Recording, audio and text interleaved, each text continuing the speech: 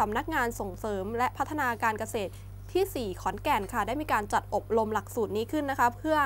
ให้นักวิชาการส่งเสริมการเกษตรปฏิบัติการในพื้นที่ภาคตะวันออกเฉียงเหนือค่ะ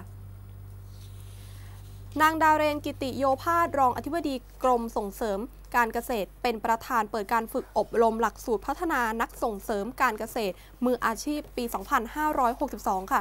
ครั้งที่ 3 นี้นะคะ พร้อมทั้งกับมอบนโยบายและแนวทางการปฏิบัติงาน ให้กับผู้เข้ารับการฝึกอบรม ที่โรงแรมเจริญธานีขอนแก่นอำเภอเมืองจังหวัดขอนแก่นค่ะ ค่ะนายสมจิตทีรบุญชัยกุลนะคะผู้อำนวยการสำนักงานส่งเสริม และพัฒนาการเกษตรที่ 4 จังหวัดขอนแก่นค่ะได้กล่าวว่าสำนักงานส่งเสริมและพัฒนาการเกษตรษตรที่ 4 ขอนแก่นเนี่ยมีการจัดฝึกอบรมหลักสูตรพัฒนานักส่งเสริมการเกษตร สู่ความเป็นมืออาชีพมาอย่างต่อเนื่องค่ะ ตั้งแต่ปี 2558 นะคะ